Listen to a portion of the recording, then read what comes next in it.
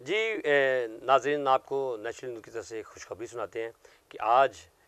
बहुत ही अच्छी और बहुत ही प्यारी बेटी हमारी, जोइन थॉमस, जिसने पाकिस्तान के लिए फ़ुटबॉल इंटरनेशनल खेला और उसके बाद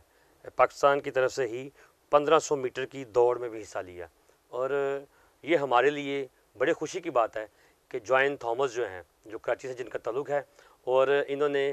इंटरनेशनल लेवल पर फ़ुटबॉल भी खेला और 1500 मीटर की रेस में हिस्सा भी लिया। और मैं और हमारी नेशनल न्यूज़ की टीम इस बेटी को सल्यूट करती है और इनकी खिदमत को सराहती है। तो मैं चाहता हूँ कि हमारे जितने भी ए, सोशल मीडिया पर जो पैगाम देते हैं हमारे क्रिश्चियन सहाफ़ी जो हैं वो इस खबर को ज़्यादा से ज़्यादा शेयर करें और इसको फैलाएँ ताकि हमारी कौम का फ़ख्र और भी बुलंद हो। हमारे जो जितने भी पाकिस्तान के दूसरे मीडिया चैनल्स हैं मैं उनको भी दावत दूँगा कि वो भी इस बच्ची को अपने प्लेटफॉर्म पर लेकर आएँ ताकि एक